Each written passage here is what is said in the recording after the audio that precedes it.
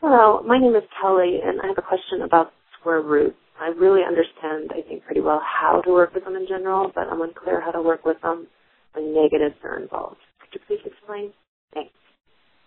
Okay, so you want to know about square roots of negatives. Um, well, let's let's review square roots first real quick. A square root is a number that you multiply by itself to get a number that you're asked about.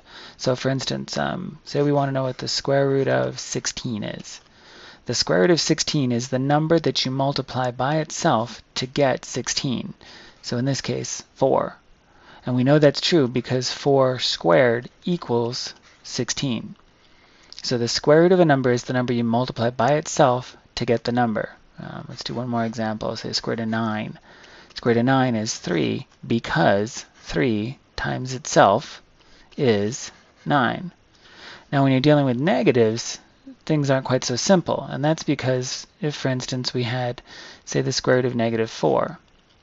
Well, we know that the square root of 4 is 2 because 2 squared is 4. So we look at this and we say, oh, well, the square root of negative 4 then must be negative 2, right? Wrong. No way. What is negative 2 squared? Well, negative 2 squared is negative 2 times negative 2. We have an even number of negative signs, so the answer is positive 4. So the square root of negative 4 isn't negative 2. It's obviously not positive 2. So how are we going to get a negative 4 out of taking some number times itself? You can't. You cannot get a number that you multiply by itself to get a negative answer. So the square root of a negative number, for instance, negative 4, is not real. It's a it's not a real number. Yeah.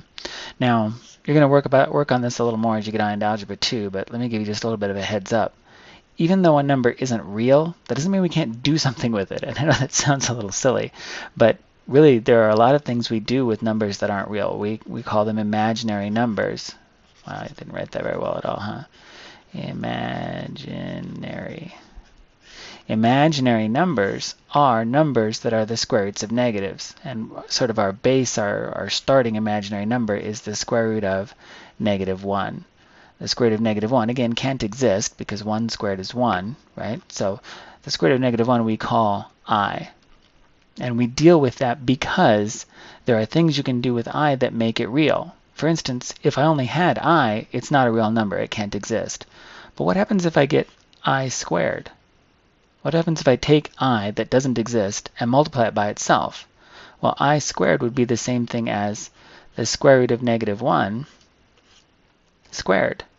And if you square a square root, what happens? Well, the square and the square root cancel, and you're left with the number inside, negative 1, which is a real number.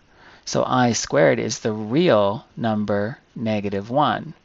Now you can see why we might want to worry about dealing with imaginary numbers, because if we do some things with them, they become real numbers. So the short answer to your question is the square root of a negative number doesn't exist. There aren't any. You can't take a number times itself to get a negative. The long answer is the number does exist as an imaginary number, and we need to worry about it because we can do things with imaginary numbers that make them into real numbers. In fact, combinations of imaginary numbers and real numbers are used a lot. They're called complex numbers. A complex number is just a real number like 4 plus an imaginary number or minus an imaginary number like say 3i. So a complex number is the two together. Imaginary is just the one that doesn't exist on its own. And a real number is a number that you work with every day.